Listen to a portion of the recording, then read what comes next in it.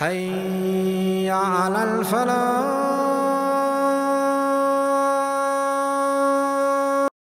So, my brothers and sisters, when we go down there, one of the supplications we're taught by Rasulullah sallallahu alaihi wasallam is to say, Subhana Rabbiyal A'la, Subhana Rabbiyal A'la, Subhana Rabbiyal A'la. We repeat it a minimum of three times. We could go on to five or seven or more. But that is one of the phrases of praise of Allah. We're glorifying Allah.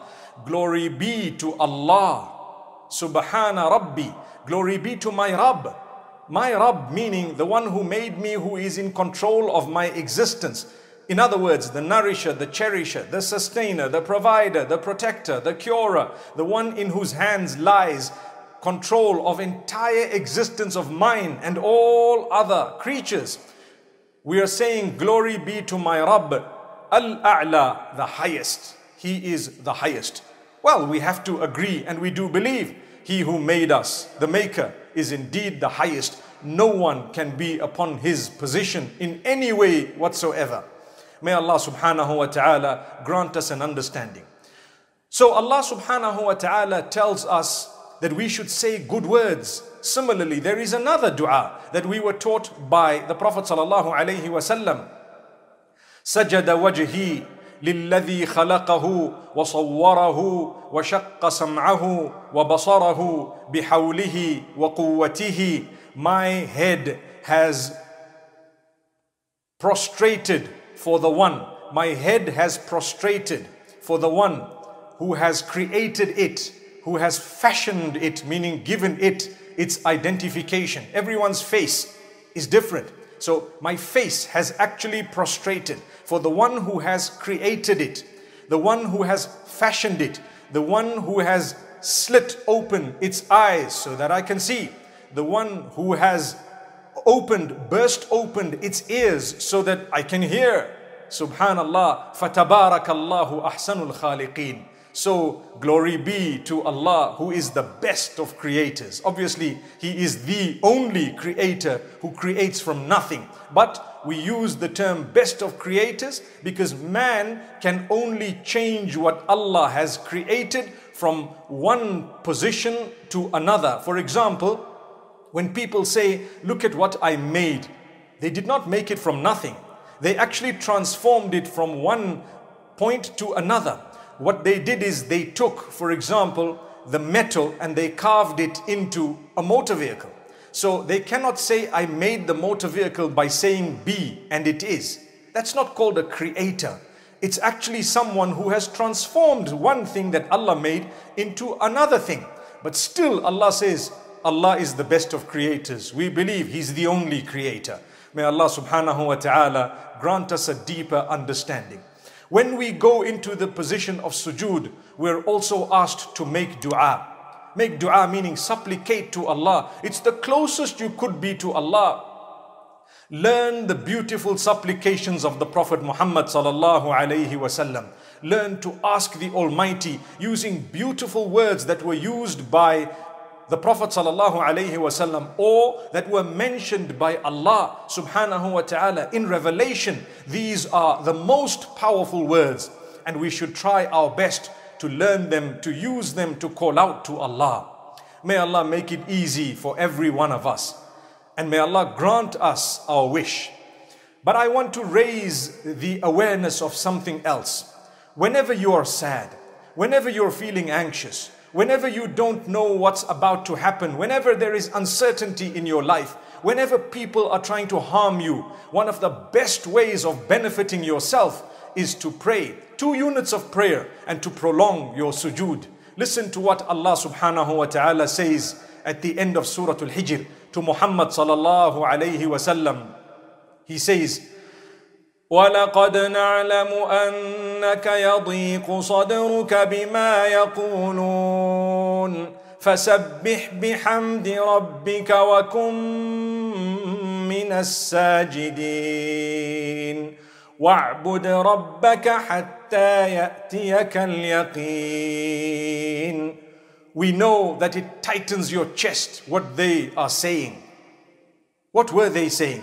Well, the people of Quraysh used to say nasty things to the Prophet ﷺ, false accusations, words of belittling. They tried to belittle, but they would never succeed because nobody can belittle the Messenger ﷺ. They mocked at, they scoffed at, and the only thing that happened was their own status was dropped. Never did that affect the status of Muhammad sallallahu alaihi wasallam. But Allah says it tightened your chest. We know it saddened you.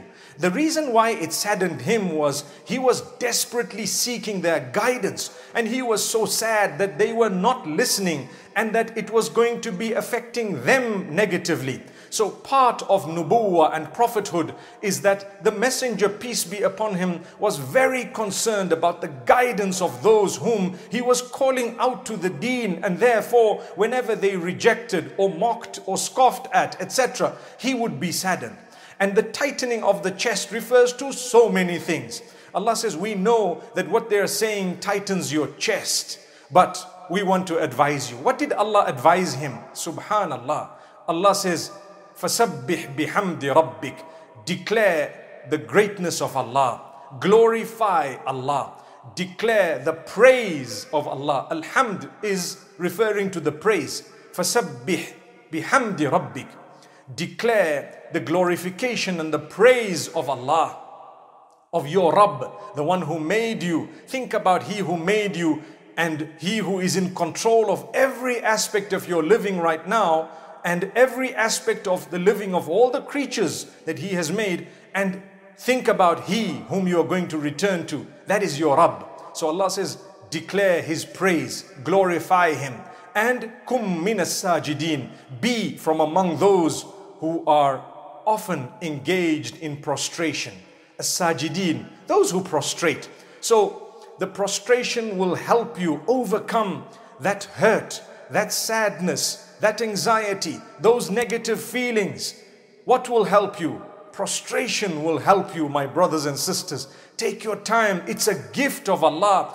Go into that position and weep to Allah, cry to Allah, praise Allah, call out to Allah. Do whatever you would like to for the sake of Allah in that position in terms of the words you're going to say and cry to Allah. Remember, we're taught how to prostrate. But we're also taught by the Prophet ﷺ that we are allowed to call out to Allah in that position of prostration. So get into that position and call out to Allah. May Allah subhanahu wa ta'ala grant us acceptance. Allah says at the end of Surah Al-Hijr, and it's a verse that I have already recited, Allah says, وَعْبُدْ رَبَّكَ and worship your Lord until death comes to you, until the end, until the very end. And this is what my brothers and sisters will actually help us. So, remember every time there is uncertainty, you want to call out to Allah. What better thing to do than to get up at a time that we know is the most blessed time to call out to Allah, which is the time of the tahajjud, the last third of the night, and then to engage in the position or posture that we know would make us the closest to Allah subhanahu wa ta'ala and then weep to Allah and then cry to Him knowing that He is calling out at that time saying who is there who is asking me that I can give them? And we're busy in sujood in the highest possible posture. The best and the closest to Allah saying to Him that yes I am here O Allah I need, I am in need, I am calling out to you. Grant me, O Allah, and make sure that your supplications are good, they are positive, they are something you would be proud of. May Allah help us forgive people. May Allah help us call out to Him in a positive way. My brothers and sisters, remember something. We are not allowed to call out to anyone besides Allah. We cannot render sujood for anyone besides Allah subhanahu wa ta'ala. وأن المساجد لله فلا تدعوا مع الله أحدا In Surah Al-Jinn, Allah says, And indeed the places of prostration are for Allah, so don't call out to anyone besides Allah. وَأَنَّ الْمَسَاجِدِ A masjid, yes, is one of the houses of Allah, also referred to as masjid, the houses of Allah. All of them are referred to as masajid. But it is a place where your head is put down for Allah in prostration. It's called masjid. So the places where your heads go down in prostration for Allah belong to none other than Allah. So don't call out to anyone besides Allah subhanahu wa ta'ala. May Allah make it easy for all of us. Remember, take your time in sujood. Repeat the, the supplication, the praise of Allah. Declare His greatness and how high He is. Declare how, how much in need you are of Allah. Thank Him for what He's given you and call out to Allah, seeking whatever you wish. May Allah grant us our need. Enjoy the sujood. Those of us who may not be so used to sujood or prolonged sujood, sometimes you may find it a little bit difficult to stay there for a while, but you will get used to it. Where there is a will, there is a way. And if you are serious about it, by His will, His virtue, you will definitely be able to prostrate. I want to end off with one powerful reminder.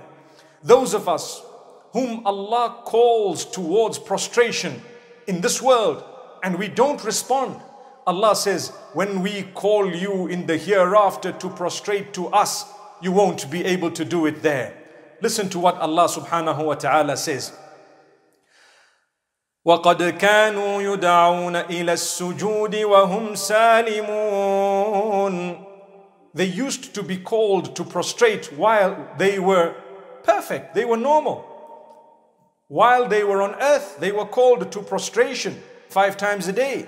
They did not prostrate for Allah. So on this day, they will not be able to prostrate to Allah subhanahu wa ta'ala. Remember this, my brothers and sisters. So therefore, when Allah calls us on the day of judgment or in the hereafter to prostrate to Him, if you want to be a person who will be able to do that instantly, immediately, and enjoy it and taste the sweetness of it, you need to get used to it now on earth.